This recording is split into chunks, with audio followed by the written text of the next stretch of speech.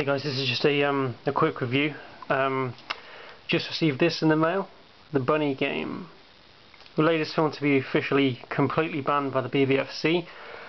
Little caption there, warning, totally banned in England. This is yet again, as with the Serbian film, a Swedish release. Uh, came out last month, still wrapped. Arrived in the post this morning, fully uncut. Haven't seen it yet, I'm going to do a follow-up review once I have done.